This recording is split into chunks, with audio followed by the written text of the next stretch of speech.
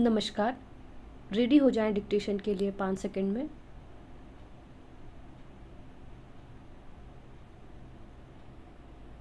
Start.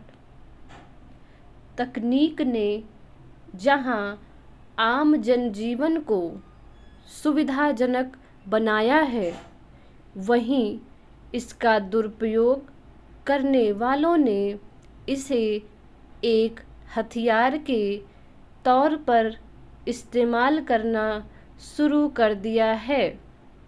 जैसे जैसे लोगों की निर्भरता और व्यस्तता इंटरनेट पर बढ़ने लगी, अवैध रूप से आर्थिक गतिविधियाँ चलाने वाले गिरोहों ने उसी रास्ते लोगों को फंसाना शुरू कर दिया। मसलन सट्टेबाजी का धंधा चलाने के लिए कई ऐप चलाए और उसके ज़रिए बिना मेहनत के अकूत कमाई के सपने परोसे जाने लगे। इस तरह के जाल में फंसने वाले ज़्यादातर लोगों को नुकसान ही हुआ। लेकिन ऐसे ऐप संचालित करने वालों ने करोड़ों अरबों रुपए की कमाई से अपना व्यापक कारोबार खड़ा कर लिया। गौरतलब है कि शुक्रवार को प्रवर्तन निदेशालय यानी ईडी ने महादेव ऑनलाइन सट्टेबाजी ऐप को लेकर एक बड़ी कार्रवाई की और इस मामले में देश भर में उनतालीस ठिकानों पर छापेमारी कर 417 करोड़ रुपए की संपत्ति जब्त की। छत्तीसगढ़ के रहने वाले दो लोग महादेव सट्टेबाजी ऐप के संचालक हैं और मौजूदा समय में ईडी के निशाने पर हैं। सट्टेबाजी के ज़रिए संयुक्त अरब अमीरात में बनाए गए साम्राज्य का अंदाज़ा इससे लगाया जा सकता है कि इसी साल फरवरी में इस ऐप के एक संचालक ने जब वहाँ शादी की तो उसे समारोह में करीब 200 करोड़ रुपए नकद खर्च किए गए। उसमें मुंबई फ़िल्म जगत से कई गायकों और अभिनेताओं को प्रदर्शन करने के लिए बुलाया गया था और सबको हवाला के ज़रिए बड़ी रकम का भुगतान किया गया। ईडी की जाँच में इस बात का भी खुलासा हुआ कि महादेव बुक ऐप और सट्टेबाजी का मामला छत्तीसगढ़ के कुछ राजनेताओं और पुलिस अधिकारियों से भी जुड़ा है।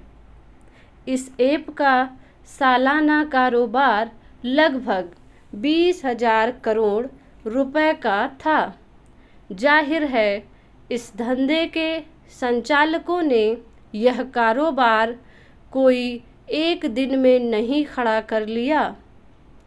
पैसे के लेन देन और ख़ासकर डिजिटल तरीके से ऑनलाइन और गैर कानूनी आर्थिक गतिविधियों पर नज़र रखने का दावा करने वाले संबंधित महकमों के कामकाज करने का तरीका आखिर क्या है कि कोई भ्रष्टाचार इस स्तर तक पहुँचने के बाद पकड़ में आता है।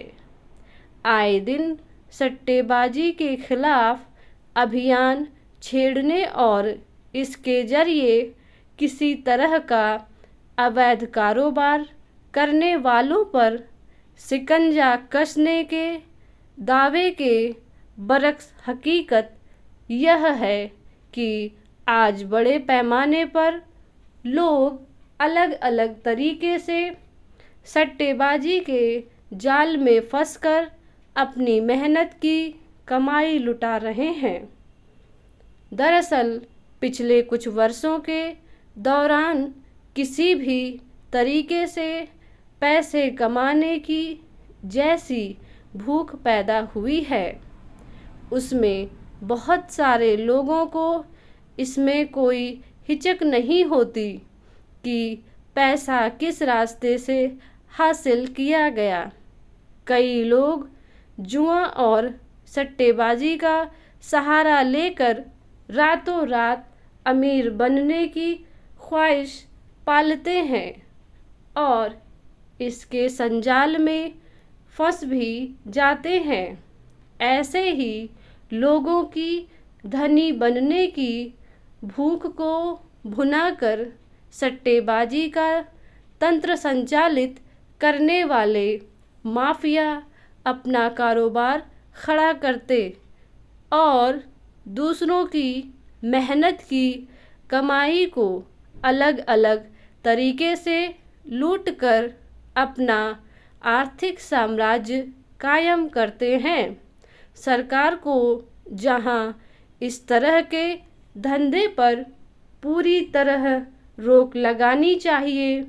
वहाँ ऑनलाइन सट्टेबाजी पर जीएसटी लगाने की बात कर परोक्ष रूप से उसके लिए जगह मुहैया कराने की कोशिश हो रही है, जबकि सट्टेबाजी के ज़रिए गैरकानूनी रूप से करोड़ों अरबों रुपए की कमाई करने वाले और प्रकारांतर से जुआ खेलकर अमीर बनने की प्रवृत्ति पर लगाम लगाने की तत्काल ज़रूरत है।